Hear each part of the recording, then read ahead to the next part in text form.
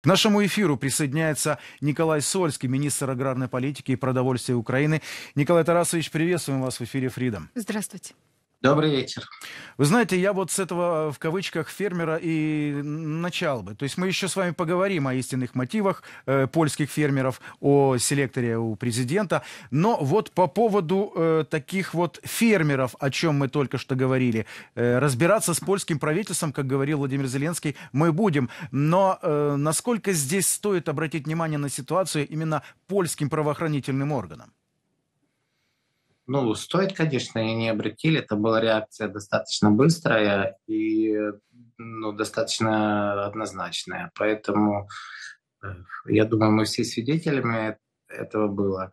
Важно также подчеркнуть, что все-таки эти вещи, которые имеют провокационный характер, они не массовые, они пресекаются. Мы были все свидетелями этого. Кроме того, ну, например, я, там другие министры, когда постоянно с нашими работниками консульства, посольства в Польше, они постоянно на границах с той стороны, и когда возникают такие ситуации, они вмешиваются.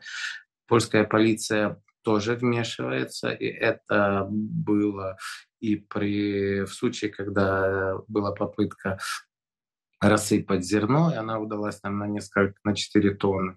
Они отогнали потом этих протестующих. Как бы, в принципе, вчера вечером железная дорога была разблокирована, она сегодня работает. И такие ситуации были и другие. Ну, например, там с военными грузами были две ситуации. Первая подъехала польская полиция.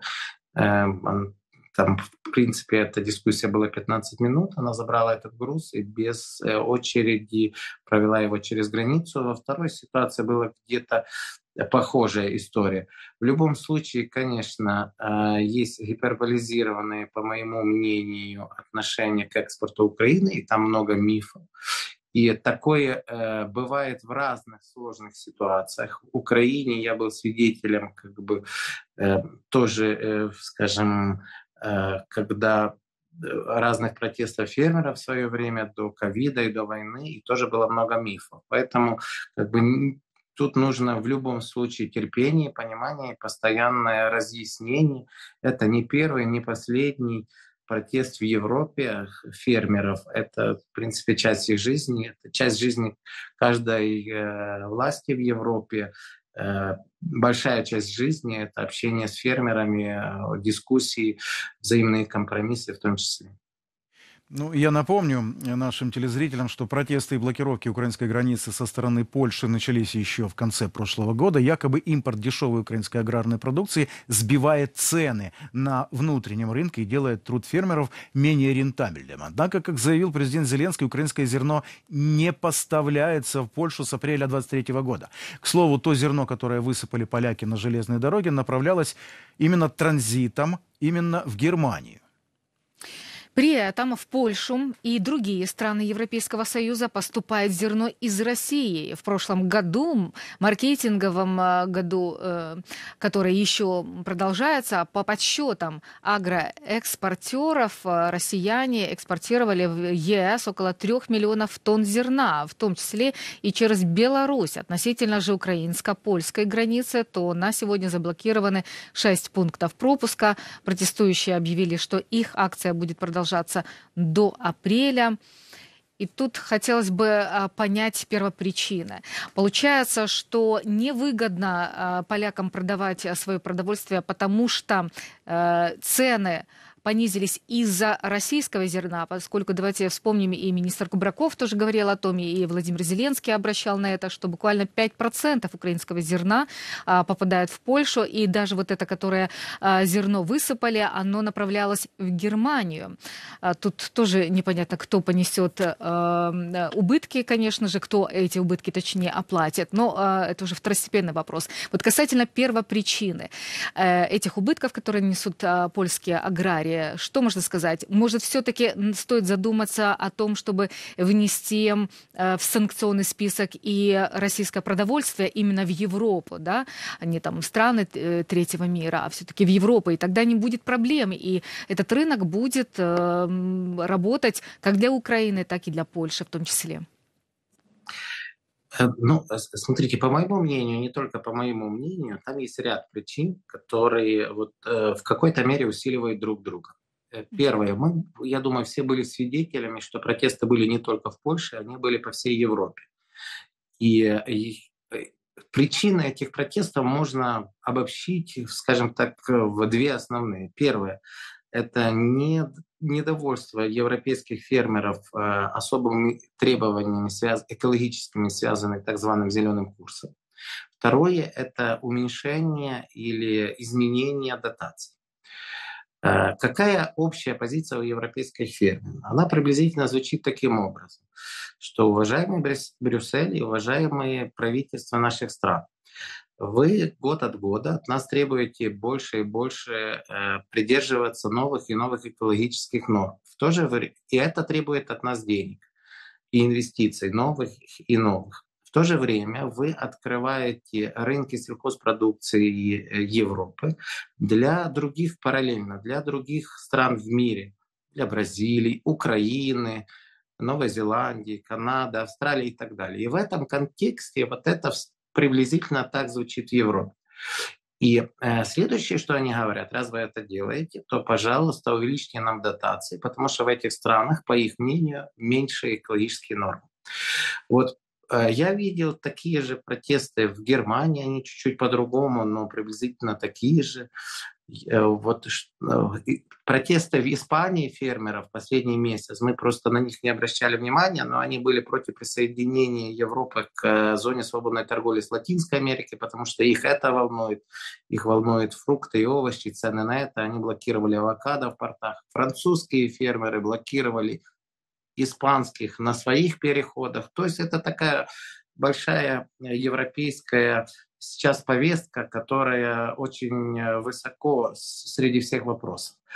Но, но повторюсь, в части э, в Польше это было гиперболизировано и э, усилено, очевидно, какими-то эмоциональными моментами, и в том числе подогретым вот такими персонажами, которые вы только что вспоминали, которые специалисты во всем, и, скорее всего, еще получают за это деньги, и понятно, от какой страны. Э, поэтому это точно нам надо учитывать и не поддаваться на понятно, однозначно, четко, где-то спокойно, где-то более жестче реагировать, но вместе с ним не поддаваться на провокации. Это все, вся ситуация в Европе, во всем мире, она усиливается тем, что сильное падение цен, которое происходит уже второй год, она происходит не из-за Украины, она происходит из-за хороших урожаев везде в мире. Вот так совпало в Бразилии, в Америке, в Аргентине, в той же России, которая демпингует и одновременно решает свои какие-то политические задачи которые э, которые, понятно, очень плохие, но они вот так действуют, здесь нет ничего удивительного. Поэтому в вот этот клубок причин он создал вот такой, эм, такой, такой плохой результат. И это нам всем надо учитывать. Э, и власти в том числе, потому что их польская однозначно, ну и нам тоже надо учитывать в переговорах с поляками однозначно. Надо понимать, что у нас параллельно очень важный, даже более важный процесс, чем другие торговые дискуссии, которые сейчас существуют. Это продление зоны беспошлиной торговли, которая оканчивается 5 э, июня со всей Европы. Вот только сегодня было получено очередное позитивное решение. Если не ошибаюсь, 23 или 24 страны проголосовали за, несколько только воздержались и где ограничения только на, ну, на яйца, курицу и сахар, и они умеренные. Только, то есть э, этот процесс движется правильно, он э, конструктивный, э, это кого-то раздражает, и мы должны учитывать, что его нужно довести до конца и довести, скажем так, спокойной, трезвой головой, э, и понимая все, что вокруг происходит. Ну, просто чтобы понимать, э, так будет всегда, или все-таки это, вот как вы говорите, это также еще связано с э, хорошей урожайностью а, во многих странах. А почему все-таки не задумываться о том, чтобы еще и вести санкции против а, российского продовольствия, учитывая, что а, Российская Федерация еще и ворует украинское зерно и им торгует? Тут ну, сам Бог велит, как говорится, Э, возможно ли вообще такое решение? Смотрите, это нужно, и тут я не успел на это ответить. Мгм. Там будет, я думаю, несколько хороших новостей этой осенью, подготовленных, и как бы и которые будут там на практике дальше реализи- реализоваться. Вопрос того, будет ли так всегда. Вот э, знаете, я вот в прошлом году, когда эм, раньше у меня такого опыта не было, я начал приезжать на встречи министров сельского хозяйства европейских. И, соответственно, потому что ну, мы стали ближе, у нас как бы общая повестка, и я э, был свидетелем многих дискуссий в Европейском Союзе между членами, между соседями десятки лет. И они были ожесточенные. Просто по телевизору нельзя показывать, начиная с какого-то распределения квот по вылову рыбы и так далее. Вот то, что это такие дискуссии, я на это предлагаю посмотреть чуть с другой стороны. Это значит, что мы уже какой-то правой или левой ногой немного в этом обществе, и нас воспринимают как э, в какой-то форме уже члена. Да, эти дискуссии будут всегда, это часть демократического сообщества Европейский Союз, и там много торгов, много компромиссов, каждый отстаивает свои интересы в максимально возможной форме и очень разными способами. Я вот как раз хотел добавить, что в этом э, в, в разрешении всех этих проблем очень важен, важно учесть именно опыт э, наших балтийских э, союзников, стран Балтии, ведь там такие же проблемы, там тоже уменьшают дотации, там экологические какие-то требования вводят. Но в странах Балтии фермеры бастуют против всех этих вещей, и в том числе против э, российского зерна. Они специально на этом акцентируют, что это не исключено, что это э, зерно украдено у Украины. То есть мы решаем свои проблемы внутри Европейского Союза, но протестуем, чтобы через наши страны шло транзитом в ЕС российское зерно. Вот это, по-моему, тоже стоит учитывать в разрешении этой ситуации. Плюс ко всему вот эти вот явные провокации на украинско-польской границе. Как считаете?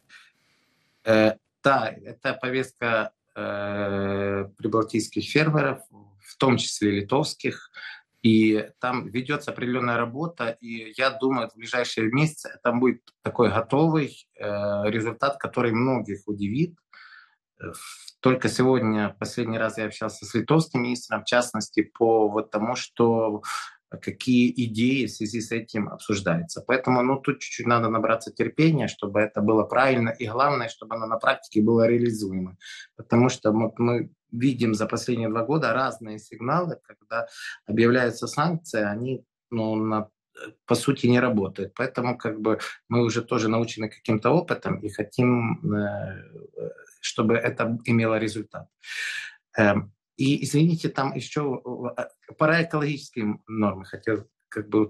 Смотрите, это не только протест литовцев, это протест во всей Европе. Вот во Франции был одно из основных требований, это отмените экологические нормы. Отмените то, что мы там 4 или больше процентов земель должны вывести из оборота, и там должна как бы создаться как бы новая экосистема, там пастбища и так далее, и так далее. Мы этого не хотим, мы это не в равных условиях. То есть таких требований в Европе, о них очень много, они все похожи. И это не только Литва, это и даже такие э, большие, как бы, одни из первых членов Европейского Союза, как Франция. И также, Николай Тарасович, хотелось бы уточнить о решениях этой проблемы. Вот а, Украина планирует новый экспортный маршрут, чтобы обойти польскую блокаду и увеличить свой экспорт до довоенного уровня. Об этом сообщил министр инфраструктуры Украины Александр Кубраков. И Киев уже завершает, по его словам, план экспорта а, контейнерных перевозок через Верхний Дунай, поскольку Румыния, а, по словам Кубракова, более предсказуема, чем польская граница. И, по его словам, также в планы на этот год входит снятие всех искусственных препятствий для экспортеров и работа над улучшением внутренней логистики. И новый маршрут будет проходить от украинского порта Измаил до румынской Констанции и дунайских портов Германии. Насколько это улучшит ситуацию? Ну, конечно, улучшит. Это достаточно перспективная история. Она чем больше вариантов, тем всегда лучше. В том числе и договариваться с соседними. Вы согласны, когда как бы партнер ваш понимает, что у него как бы он не уникальный, это всегда помогает достичь соглашению, скажем так, более компромиссно. Поэтому без привязки к Польше мы этот э, маршрут в правительстве планировали. Спасибо Минтрансу, он его подготовил достаточно хорошо. Вы его анонсировали и не на этой неделе, еще раньше мы собирались с бизнесом, предвидя как бы возможность ну, усложнения ситуации, в том числе в Польше. Э, вот буквально там вчера-сегодня происходят как бы переговоры с потенциальными поставщиками, для которых это тоже первый раз. Ну, то есть это, это техническая работа. Там есть разные места, куда оно может доходить в Австрию, Германию, если не ошибаюсь, даже до Регенсбурга. Ну, могу ошибиться. И э, там, сколько должно быть барж, если не ошибаюсь, до шести, сколько контейнеров, какие футы, как, э, сколько футов, из каких мест, сколько оно перегружается, по какой цене.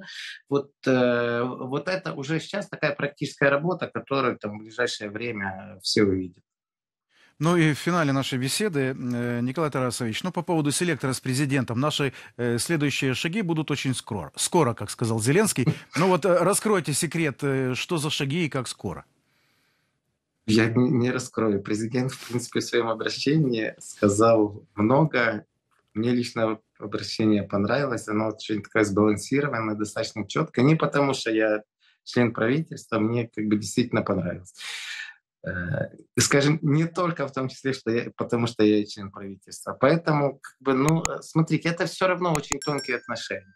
Президент там четко дал понять, что в приоритете это дружба, э, солидарность с Польшей, и у нас общие цели, все остальное не должно стоять впереди перед этими общими целями. Поэтому как бы настроение, которое ну, которое как бы было во время как бы селектора, я вот передал. А все остальное увидим в, э, в ближайшее время. И буквально э, коротко спрошу, насколько поляки теряют от таких э, блокировок э, границ? Ну, смотрите, мы можем гипотетически э, посчитать. Ситуация какая? Мы, в принципе, если мы берем баланс экспорта и импорта по аграрке за 2000 ну, но они же зарабатывают на транзите, понятное год. дело.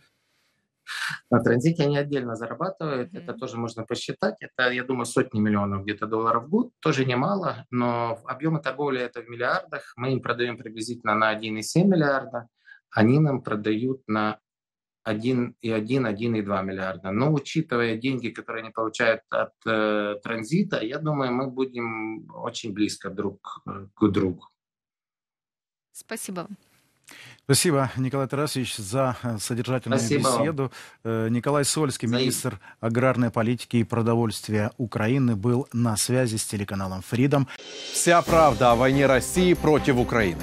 Узнавайте оперативные новости первыми в телеграм-канале Freedom. Freedom – только то, что действительно важно знать. Подписывайтесь, ссылка в описании.